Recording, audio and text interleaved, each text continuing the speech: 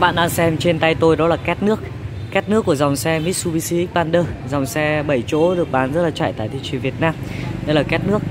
À, Két nước này thì có tác dụng là nó chuyển cái nước từ trong động cơ. Khi động cơ chúng ta hoạt động thì nó sinh ra nhiệt năng.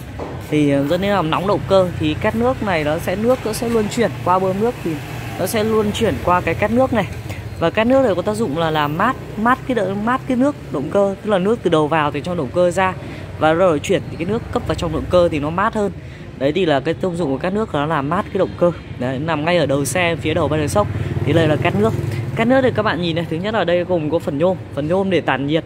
Nước nó sẽ chạy trong cái phần nhôm này, lá nhôm này để tản nhiệt ra. Đó, và hai cái đầu đầu đầu ống dẫn nước, ống dẫn nước. Đấy, ống nước giữa vào phía trên và ống dẫn nước vào phía dưới. Và đây là hai cái là mát dầu số dầu tự động đấy là số tự động thì nó hai cái ờ, đường ống phía dưới. Đây là cắt nước của dòng xe Mitsubishi Xpander và bao gồm có nắp cắt nước. Đây là nắp cắt nước. Và hàng xịn chính hãng này các bạn nhìn này. Đấy đây. Đấy đây. Cắt nước các bạn nhìn. Các bạn nhìn đây là hàng xịn chính hãng nhá. Đó, ờ, đây là cắt nước. À, thì trên xịn chính hãng này các bạn sẽ thấy là à, trên cái sản phẩm cắt nước có sẽ có logo của Mitsubishi luôn.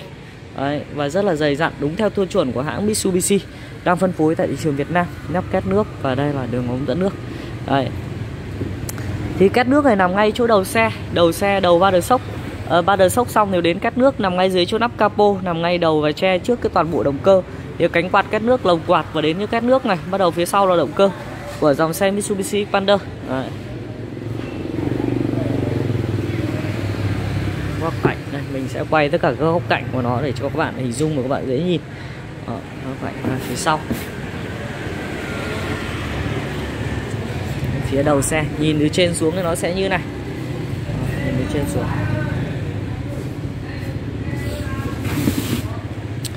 À, vậy thì trong quá trình mà các bạn lưu thông anh em có trong quá trình mà chúng ta chạy xe trên đường anh em chạy chạy xe đường thì xảy ra va chạm thì cái cát nước này nằm ngay phía sau và đầu sốc và cái bộ phận rất dễ đến va chạm và dẫn đến là bị vỡ thủng cát nước bị đâm va thì dẫn đến nó thủng cát nước thủng cát nước cái nước nó chảy ra ngoài và nó hỏng toàn bộ động nó dẫn đến nếu chúng ta không thay thế thì động cơ chúng ta sẽ không hoạt động được bởi vì nhiệt độ nó quá nóng và dẫn đến là nó bị hỏng cái động cơ.